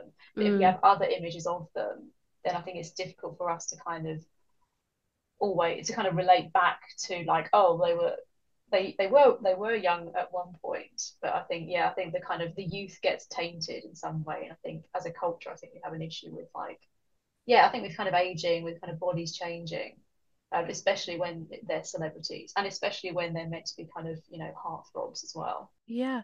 Do you think it's related to money? Because is there a sense of like well you're famous you have money therefore you can afford to stay young you can afford the plastic surgery, the Botox, the IV treatments, the the personal trainers, the personal chefs. So you should look younger forever. Your body should stay the same because you can afford to do that. And then when then inevitably their bodies change because they're aging humans. Again, it's this idea like, do we not even think of them as real people? Mm. And and and I guess, you know, we've been told we should be aspiring to be these celebrities. And then when they don't uphold the beauty standard, we hold it against them. Yeah, yeah, I think it could be potentially to do with money because you know, I guess um, people like Elvis and you know, big kind of celebrities, big musicians have more money than the average person. Mm. So I guess it's very easy for the average person to say, well, you know, why don't you just get cosmetic surgery? Why don't you just kind of pay for an expensive gym or what have you? But yeah, I think we do, you know, we do forget that they're um, they are real people and they have mm-hmm. you know mental health struggles they have physical health struggles um, and i think you know in in our kind of like capitalist society in general i think we are so obsessed with personal responsibility for like everything about yourself like mm. you are personally responsible for your for your body image for your weight for your success and actually sometimes there are kind of other factors at play and then that's what makes people get kind of shamed for things. It's the idea that they've kind of failed to be kind of productive and to kind of take personal responsibility for their for their health. I think yeah, I think it's also that idea that like in in you know society we have this image of like if someone's fat it means they are ill or they're mm-hmm. kind of like ailing in some way and then kind of therefore closer to death. Um, and yeah, I think that kind of is is kind of going on in this film as well. Yes, definitely. And you hear that with um again, we, we hear it very briefly with the, the Newcaster, but there's this idea that like Elvis is reaching the end of his road just before it actually happens. And I mean I'd love to do a bit more research into like how the actual media did treat Elvis as he gained weight. I can only imagine it was horrendously um, because it's horrendous now. So why would it not be horrendous in the seventies? But there is this idea that yeah, he's he's uh, I hate this phrase, but he's let himself go, yeah. and he's he's okay with the idea of dying. And the thing is, like, say say say if that's true, say say if Elvis was comfortable with the idea that he was going to die the way he was living his life. And that's not to do with food that's like the addiction that's the constant performing that's you know i guess the uppers and downers the alcohol all that kind of stuff would not it's not a healthy lifestyle. But if he was okay with dying at the age of 42 that's clearly a mental health issue. You know he's clearly depressed. But they talk it as if like oh it's completely like satisfactory that he's he's he's killing himself in this situation. And again, I wonder if they did view it as him killing himself. It's like a very slow killing himself. It's a very slow suicide, but it's definitely of of that ilk. Going back to the idea of like taking personal responsibility for your health and and and and, and ergo your weight because we as a society view them as synonymous with each other. I think that go, that is like Elvis to a point if Elvis could afford the best doctors, the best healthcare, the best diet, the best personal chefs, and yet he still looks the way he looks, well, then that's on him. Like, mm. you know, you've be, you've been given all this privilege to resolve your issues in the way that your average your average Joe can't. Oh, well, then you deserve the fate you're given. It's the same with me. Like, because I'm not actively on a diet, because I'm not actively trying to lose weight, because that's not good for me from a he- mental health point of view, I must be totally okay with the idea of getting ill. Which, of course, I'm not. I don't want to be ill. Like, I'm a healthy person. I try to stay healthy. I go to the doctors for my ailments if I have them, like anyone else. But because I'm not actively trying to lose weight, I must be like okay with the idea of that I might be heading towards an early grave, which is not true, but this is the idea, right? This is this idea of I have let myself go. Therefore, I must accept the early fate that must befall me because that's how it all works. I've had people comment on my shit saying, like, you don't see fat 80 year olds. And I'm like, have you just not left the house? Because you absolutely do. Yeah like again it's it's just myths that we've told each other to make ourselves feel better feel morally superior because you have a faster metabolism than me. Oh well done you. Like that's not that's just fact. Like my genetics has set the pattern for why i am the size i am. But it doesn't mean that like i must be heading towards p- ill health but yet we cannot distinguish between the two because films like this, no, that's not fair. Films like this, because we said Elvis has a good good, good, good, smart portrayal of fatness, but other films definitely go, well, because you're fat, this must mean that you're going to die young, and therefore that's okay. Yes, definitely. It's so complex. And yeah, I think there's yeah, there's kind of like a myth and a sort of narrative that's like perpetuated in film and TV as well that like oh this is just the individual's fault and it's their choice. Mm-hmm. whereas as you just said it's kind of like a whole complex like network of factors that even kind of goes down to like genetics. It's you know it's it's mental health it's physical health yeah. all sorts.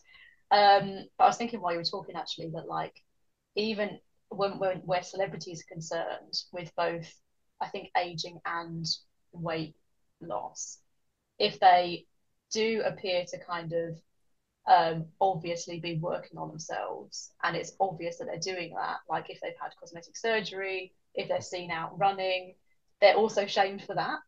Yes. Um, so that oh, so they can't perfect. Win. No, no, no. They can't. That's actually a good thing because I remember this is a while ago, um, but Nike uh commissioned like plus size mannequins to show off their plus size uh fitness athletic range and um, it got absolutely destroyed on Twitter. And I think it was an article in the Telegraph or the Guardian, one of the two, um, going like um, Nike's promoting a uh, unhealthy lifestyle, and then all the plus size people went, yeah, but we can't win. You tell us we need to work out. You need to give us clothes to work out in. This is a this is a brand giving us clothes to work out in, and then you're slacking them off for giving us the clothes that you want us to work out in, so we could lose the weight, so we could look like how you want us to look. You cannot win, and that is why I've come to the wise old age of 31 and realize there's no point arguing with these people. Like, all I can do is live my life for me. You know, the thing is, I was going to say, as long as I'm healthy, I don't even owe anyone that. Because what is health, right? Just be say say for example, mm, I had some kind of ailment. I'm trying to think of something off the top of my head.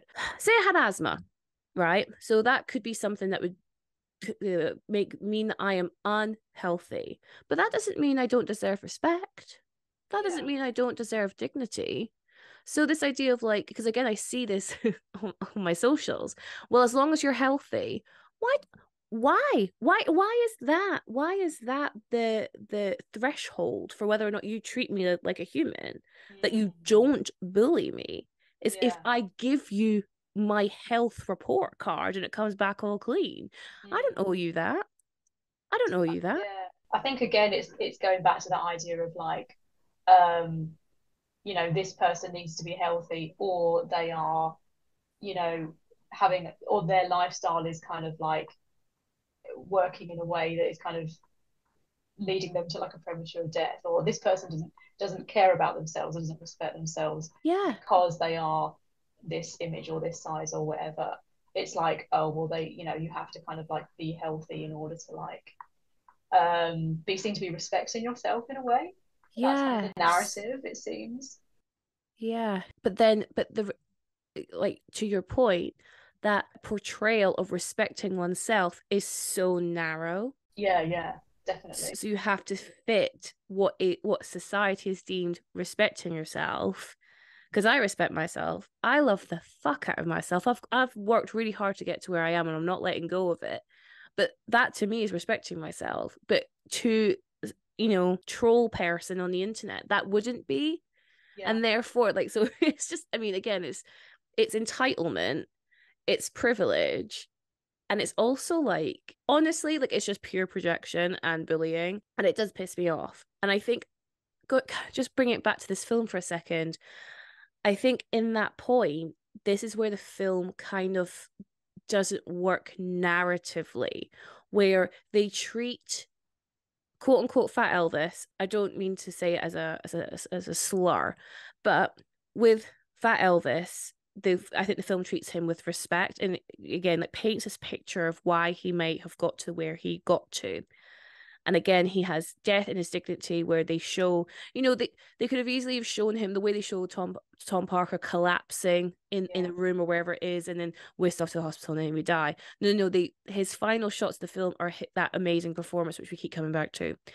Whereas with Tom Parker, they are the opposite in terms of respect and dignity in terms of his body size and body shape by putting him in this grotesque fat suit. So it's almost like talking at both sides of its mouth.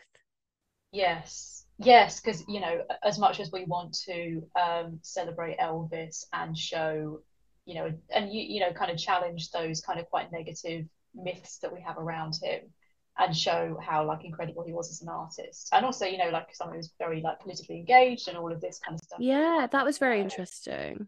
Yeah, like as much as the film I think does a really good job of that, it doesn't make that oh you know it doesn't make it okay to kind of portray the villain who is also a fat person and was in real life in such a negative way. Mm. It kind of reminds me of you know when like a guy will uh, try and compliment one girl by insulting another girl. It's kind of like that's what the film's. Doing. Oh my god, it's like that.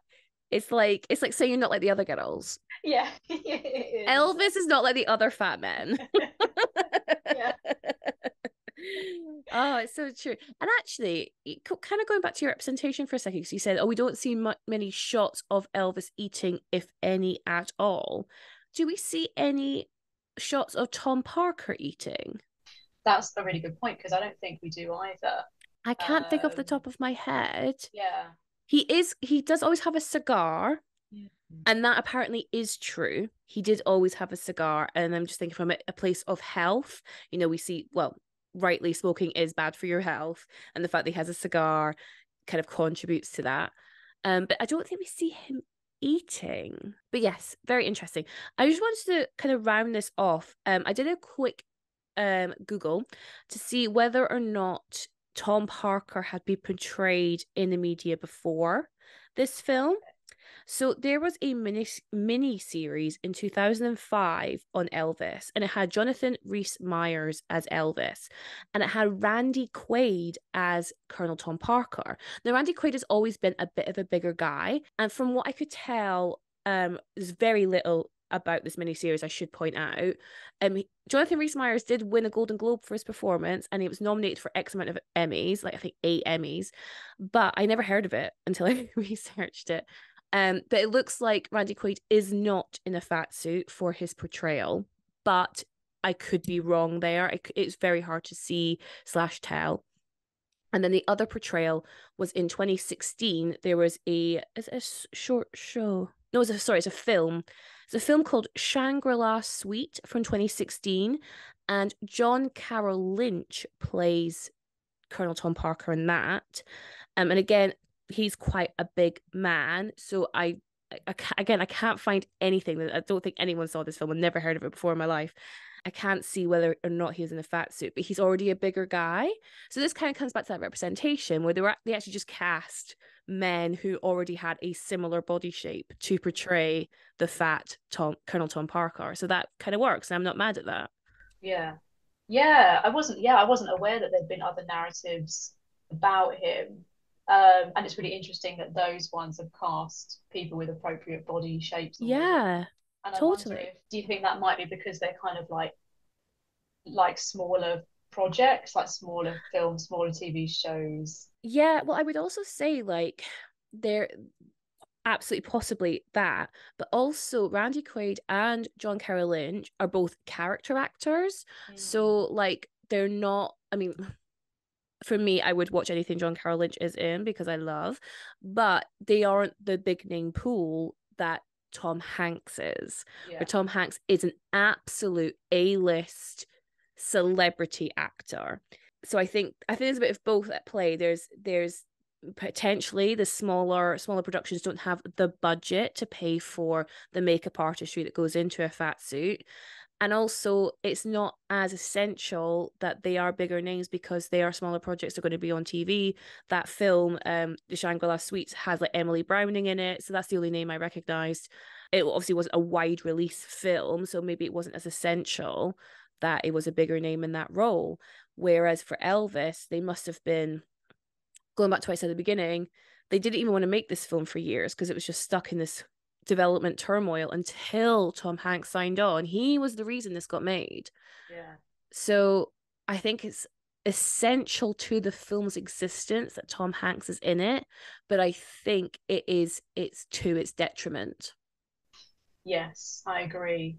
Yeah. I think, you know, as we both said as Baz Luhrmann fans, yeah. watched the hell out of this film still if it had a lesser known actor in who was actually a fat a fat actor and was playing a fat character. Oh my god, like I cannot tell you how much more interested I would be in this film. Mm. Because I guess this is one of the reasons why like I, I've brought I've brought forward the Batman and the Whale because they were also nominated for best makeup at the Oscars the same year that Elvis was. So we had three out of the five nominations nominated for best makeup for fat suits, which really sits wrong with me. Um, and there's a reason why I haven't done the whale yet. Batman's on the list. I've seen it. it well, I don't care.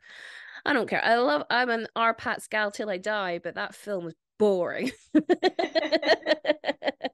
um, but yeah, there's a, there's there's. I'm just struck with this decision. Its its mm-hmm. representation is bizarre to me and i think i don't know how i don't know how brendan fraser's character is portrayed in the whales i haven't seen it yet but obviously like he's meant to be the lead so he's not the villain. If there is a villain it might be a film that is you know doesn't really need a villain. Or maybe he's his own villain. Oh i bet that's it. Have you mm. seen it? I have yes. Oh okay. Am i right or wrong? Um it's kind of there is a villain that's kind of like off screen. Oh, okay. But it's kind of like someone who or people who are kind of never really uh, that, that they don't come into the they're not portrayed as characters, but they're sort of like mm. referred to. And then something bad happens that tries to explain why he gained the weight. Mm. Um, so there is a kind of villain, but the sort of the kind of the impact of that is very much kind of like on Brendan Fraser's character and kind of gaining all this weight. Mm. That means he is allegedly a week from death. Oh shit! Oh god! Oh god! I'm gonna hate this film. uh, and that's um, it's such a shame watch. because I love Brendan Fraser with my whole entire being, and I'm so happy he's back after the, the fucking shit he's been through. But Mike, why this film? Why this film? No. I know. Yeah. but just going back to the make the makeup. Yeah, yeah, please. I wonder if um, that's got to do with how we kind of celebrate actors who kind of transform in certain ways. Ah, uh, um, yeah. And it's often it's often kind of male actors as well. I could mm-hmm. be wrong here, but I think when male actors transform in their role, whether it's through prosthetics, a fat suit, or they put on weight or they gain weight, they're seen as these kind of brilliant artists. But when it's a, a female actor who has to do that, it's like so and so is unrecognizable or so and so had to put on massive amounts of weight and it's like mm-hmm. two stone or you know it's something like yeah yeah I mean, Renee Zellweger definitely is the kind of is the person I'm thinking of but yeah. also you know potentially like Margot Robbie as well when mm-hmm. I think she was in Mary Queen of Scots and she mm-hmm. just had like a, a, bald cap and wig on that meant she mm. had like a high hairline and people were like oh, isn't it incredible that you know she can uglify herself? Like, just, well, but this is what uh, actors do. Like, same for Margot Robbie and I, Tonya. That was yeah, a yeah. massive part of the the pool for that film. Was like, oh my god, like one of the most beautiful women anyone has ever seen with their own eyes has made themselves ugly. Poor Tonya Harding. Can I just point out, like, yeah. being called by every publication going that you were absolutely ugly. Like, oh no, but you're totally right. And actually, I think from a booking point of view, like Margot Robbie's um agent, I totally understand because she was so like and rightly so she's absolutely stunning.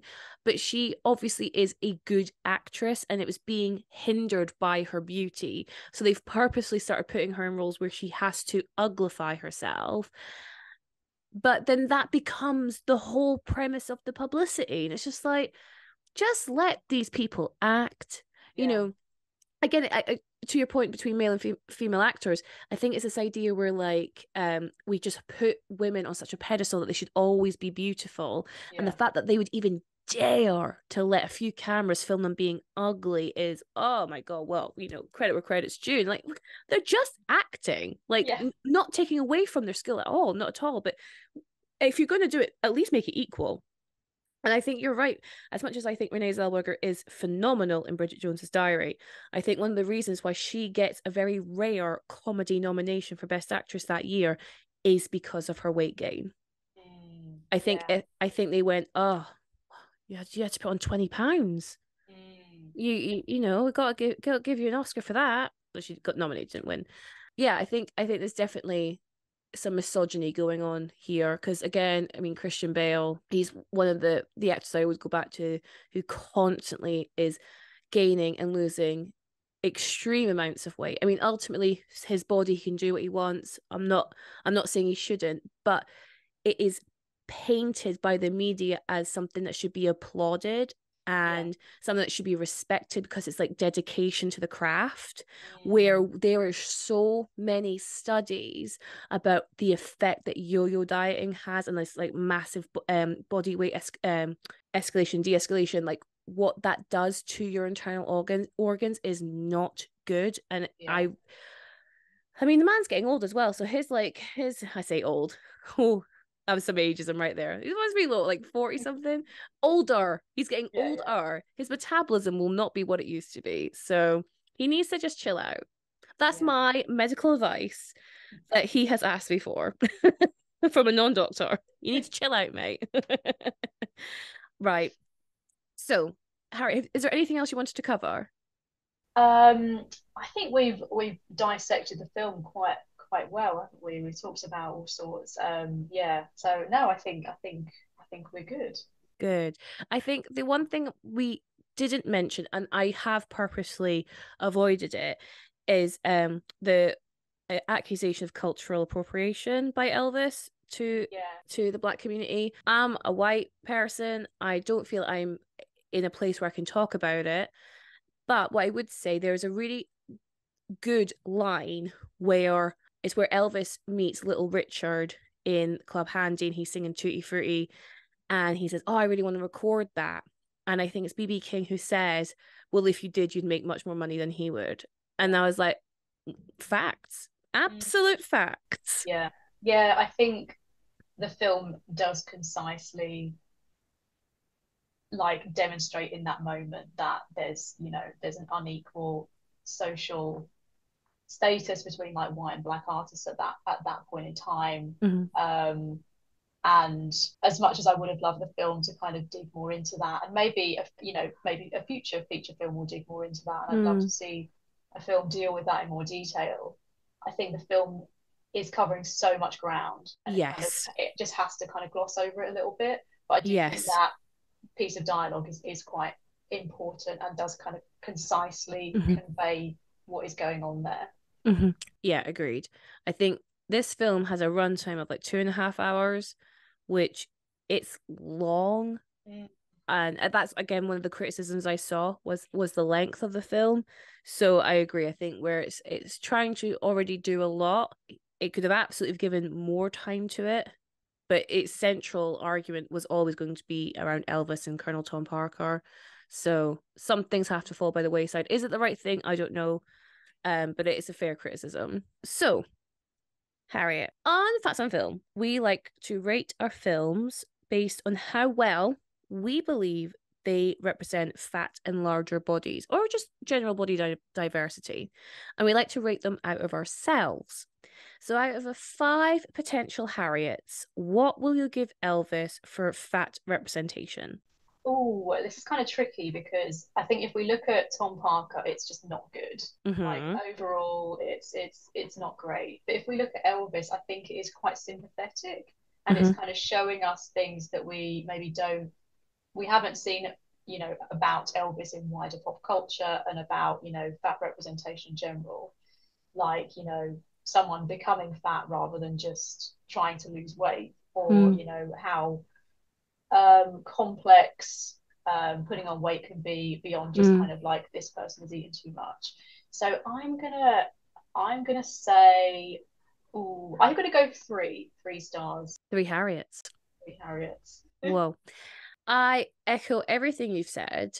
Um i think as well to the film's credit the fact it waits until the final possible scene with Austin Butler to put him in the fat suit is good. I think it's positive. Again, I, I read something that they really wanted the makeup to be um simple uh as, as he ages. So they give him I think they, they kind of uh want to keep his face quite round when he's younger, uh, so it's quite youthful.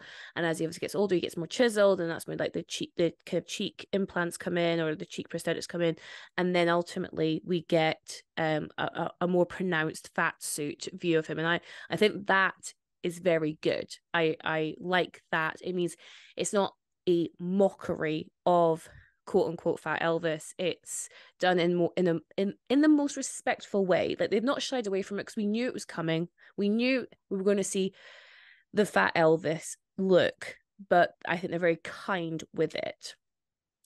But I think Colonel Tom Parker's representation, the fat suit, Tom Hanks's performance, all really is this cocktail of and this is a scientific term, trash. yes, agreed. I really think it's trash. Uh, I think it's one of the worst things I've seen Tom Hanks in. I'm not even the biggest Tom Hanks fan. Um, like I'm, I'm, I'm just an average, average, average fan, I would say. But this is by far the worst thing I think I've seen him in. I'm shocked. He was, he won the Razzie for worst supporting actor this year. Really? Um, uh, well earned, well earned. well earned. Well done, Tom. Um, yeah, it's it's really bad, and I think it's it's callous and cruel. And I, uh, to give Baz a little bit credit, I understand why he did it because he has a very clear point of view where he's coming from. I understand it, but I think he lost sight of the humanity. I really, really do.